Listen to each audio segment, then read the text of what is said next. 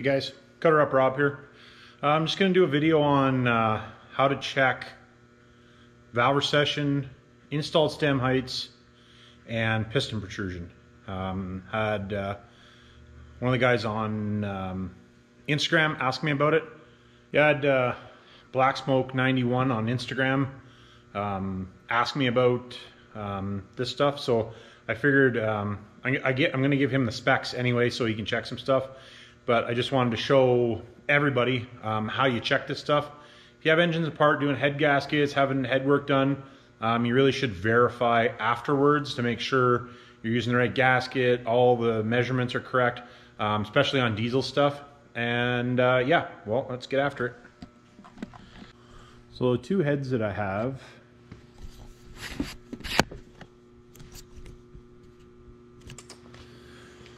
uh, both of these are just core six four heads. Actually, I don't even know if they're any good yet. We haven't really checked into it that far. Um, but this gauge here, um, it's actually not a horribly expensive kit um, made by Silver Seal. I'm sure you can buy other ones. So that's the kit, just that. That's the kit for different heights, and then that's your standard for setting. But that's uh, install stem height gauge. So when you're checking install stem heights, obviously they would usually be clean, but like I said, these are just junk heads.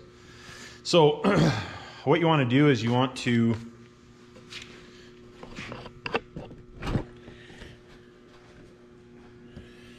make sure your valve, your valve seal's off.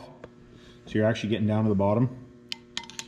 And basically you want to do that now so I'm starting at um, 100 thou on this. So it's actually come around twice. So it's 220 thou for the installed stem height on this one, or 222 thou. And the one next to it is actually lower. It's uh, 200 and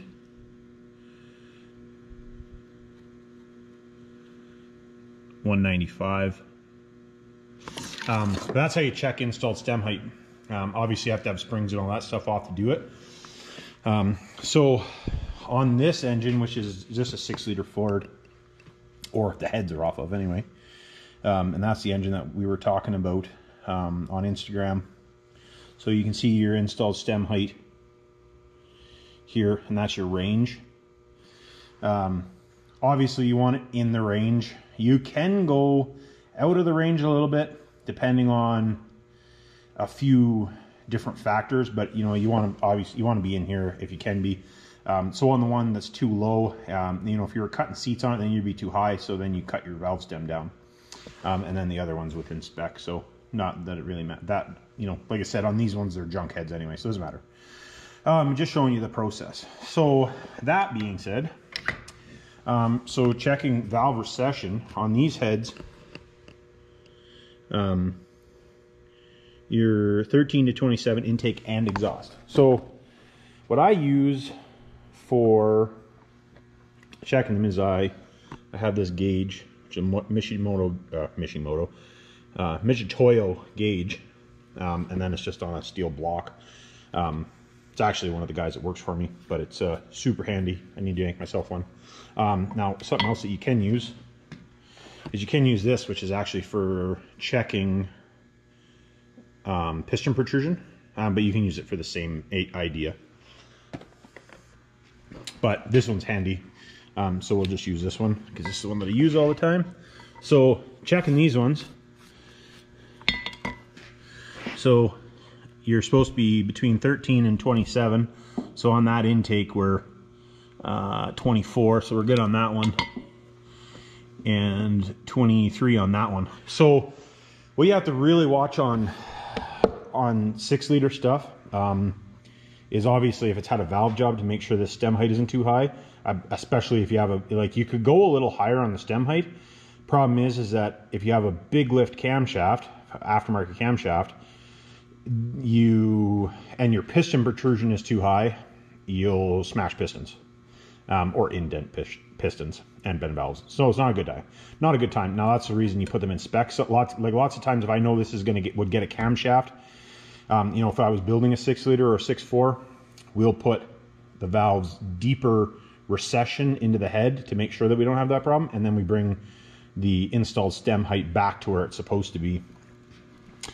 So, and then usually on the minimum side. So now on cylinder heads, what you have to watch, so you surface this cylinder head, and you guys seen that in another video. You have to check afterwards on a diesel anyway. The gas, lots of times it doesn't, like unless you take a whole bunch off, but most of the time it doesn't matter because the piston isn't anywhere near the the uh, the valve. Um, there again, unless it's got bigger camshaft or something different, you know, like on a stock engine, I'm talking. Um, but you surface the head, like let's say this head has a six thou warp in it.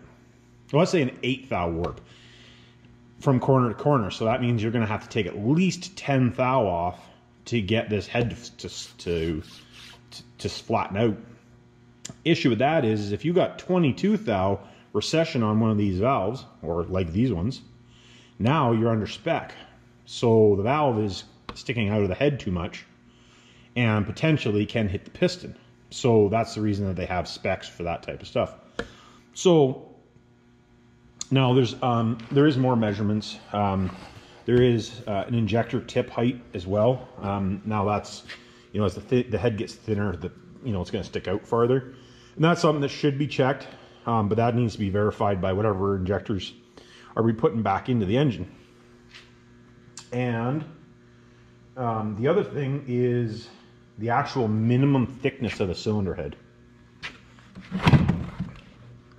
So, okay, obviously the proper way to do this is with micrometer, not a um, set of calipers, but calipers give you an idea on the thickness.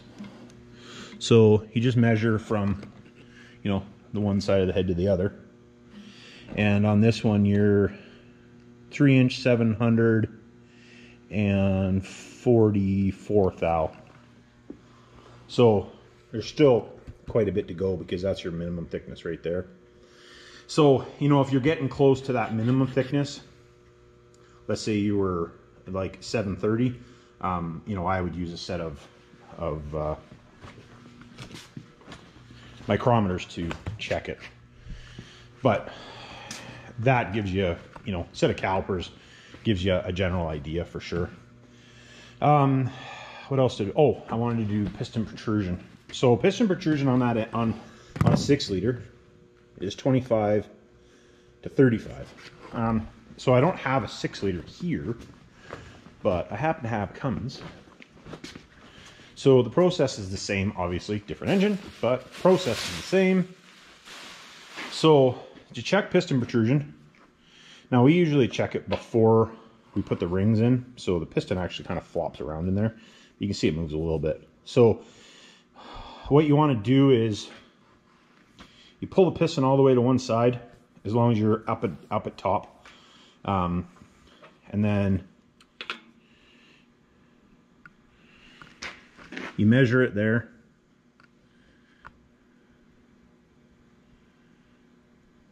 And then you rock the piston to the other side.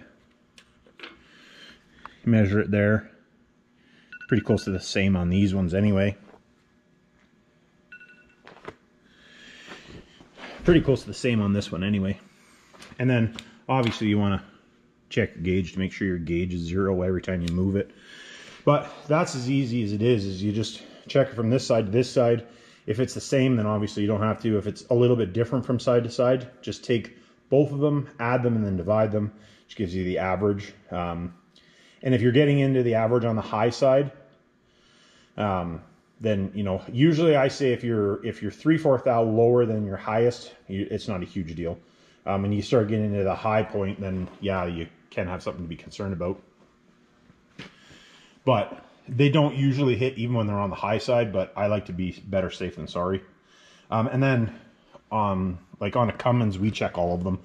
But if you were, you know, the engine was just in a in the truck and you were checking to make sure what you had, um, or checking for a failure or whatever it may be, um, you want to check front and back on both banks. So that way you have an idea. You could check all eight if you really wanted to.